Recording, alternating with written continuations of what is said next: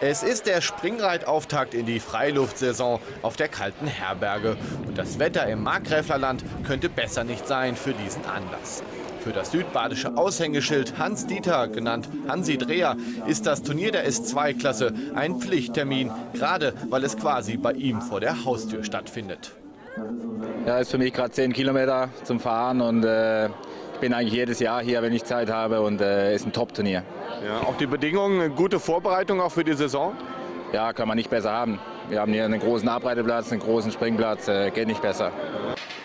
Das Springen an der B3 bei Kandern gehört zwar nicht zur obersten Kategorie, ist aber bei den Springern trotzdem sehr beliebt.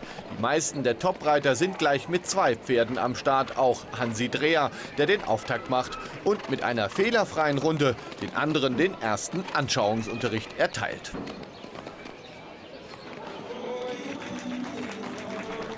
Auch der Sieger der diesjährigen Baden Classics in Offenburg, Niklas Krieg, ist am Start und schafft es ebenfalls in Stechen, der fehlerfreien Reiter.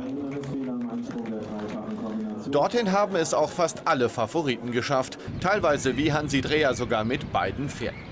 Entscheidend sind nun die schnellen Wendungen. Wenn die sitzen, dann kann man hier gewinnen. Insgesamt zehn Paare im Stechen und Dreher der Eimeldinger macht wieder den Anfang, legt mit 40,32 Sekunden eine erste Messlatte für die Konkurrenz auf.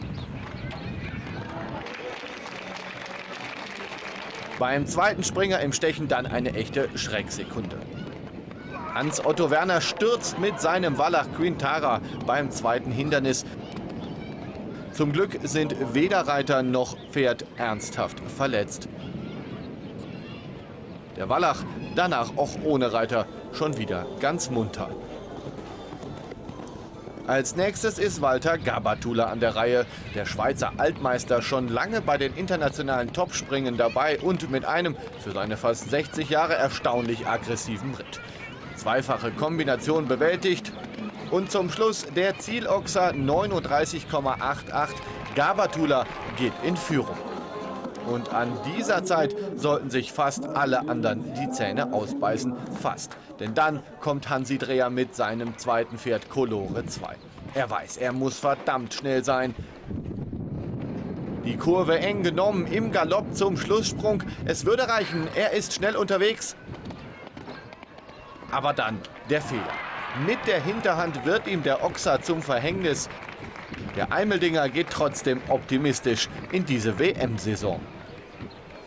Ich möchte meine Leistungen von den letzten Jahren möchte ich halten und wir haben dieses Jahr noch ein Championat und wenn ich da irgendwie eine Chance habe hinzukommen, dann werde ich das probieren. An Walter Gabatula kommt an diesem Sonntag niemand mehr vorbei. Der Schweizer gewinnt im Stechen und ist somit der erste Sieger in der noch jungen Freiluftsaison der Springreiter.